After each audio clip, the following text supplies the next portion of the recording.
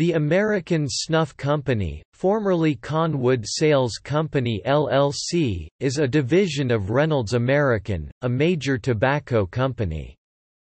The American Snuff Company was acquired by Reynolds American in mid-2006 for $3.5 billion in cash. It now generates nearly 7% of Reynolds American's annual revenue. The current president of American Snuff Company is Brian Chambers. The American Snuff Company, or Conwood LLC, was formally founded around 1900, but had been operating since shortly after the Revolutionary War as a small snuff mill. From 1986 to 2006, Conwood was owned by the Pritzker family of Chicago.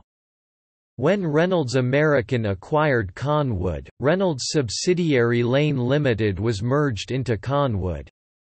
The name American Snuff Company was assumed in 2010. American Snuff Company makes a variety of smokeless tobacco products. The company produces dipping tobacco or moist snuff, chewing tobacco in the forms of loose leaf, plug, and twist, and dry snuff.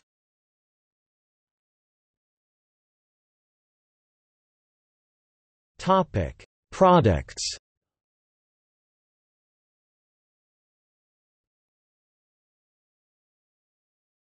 Topic: Dipping tobacco. Grizzly Kodiak Cougar Topic: Chewing tobacco. Levi Garrett Taylor's Pride H.B.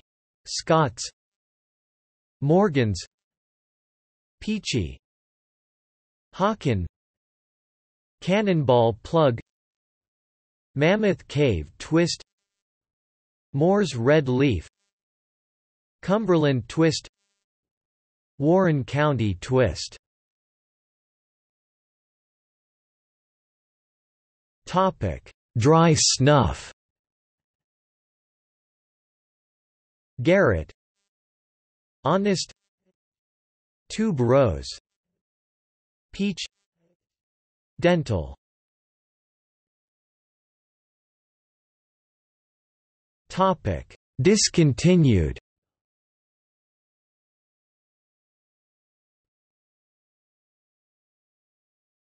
Topic Moist snuff Wintermint Kodiak Topic: Chewing tobacco. Conwood.